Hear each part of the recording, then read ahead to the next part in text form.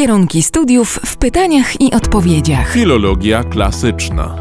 O czym są te studia? Języki, które stoją u źródeł kultury Europy to greka i łacina. Studia na kierunku filologia klasyczna wiążą się z poznawaniem tych dwóch języków. Poznaje się także zależności między nimi oraz ich źródła.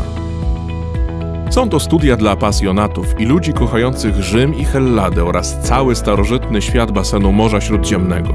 Studenci tego kierunku cieszą się zwykle możliwością studiowania w nielicznym gronie. Jak znaleźć uczelnię, która prowadzi te studia i gdzie szukać dodatkowych informacji? Odwiedź stronę studia.pl. Tam z łatwością odnajdziesz listę uczelni wraz z linkami prowadzącymi do ich stron oraz szczegółowy opis studiów. Jakie cechy charakteru mogą pomóc w studiowaniu i późniejszej pracy zawodowej?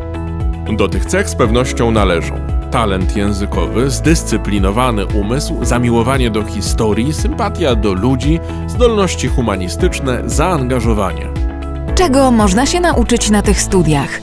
Zdobędziesz wiele umiejętności, takich jak odnajdywanie nawiązań literackich i kulturowych w sztuce, analizowanie i interpretowanie dzieł literatury, rozumienie i znajomość kultury poznawanego obszaru językowego, swobodne używanie języka, tłumaczenie na język polski. Jakie przedmioty można odnaleźć w planie zajęć? Choć są różnice między uczelniami, zwykle można spodziewać się przedmiotów takich jak gramatyka opisowa, translatoryka, historia literatury starożytnej, wybór zagadnień z filozofii, wstęp do językoznawstwa. O czym są projekty dyplomowe? Możliwości jest bez liku. Jako przykładowe tematy można wymienić następujące: analiza językowa wybranego dzieła dramaturgicznego perswazyjność tekstów wybranego nurtu literackiego, greckie zapożyczenia w literaturze rzymskiej, neologizmy w twórczości wybranego poety. Jakie perspektywy ma przed sobą absolwent tych studiów? Wiadomo, że można robić wiele rzeczy. Gdy ludzie szukają pracy w zawodzie, często wybierają popularyzowanie wiedzy o łacinie i grece, pracę w organizacjach pozarządowych, tłumaczenie tekstów dla wydawnictw, prowadzenie lektoratów dla studentów, karierę akademicką i pracę nad doktoratem. Jakie wynagrodzenia osiągają absolwenci tych studiów?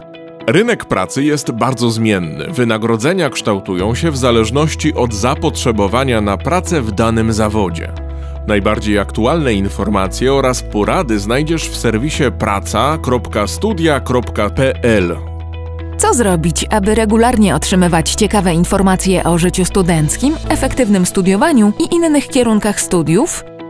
Subskrybuj kanał Studia.pl i koniecznie kliknij na dzwonek, aby nie przegapić żadnej nowości. Co myślisz o tym kierunku? Daj znać w komentarzu.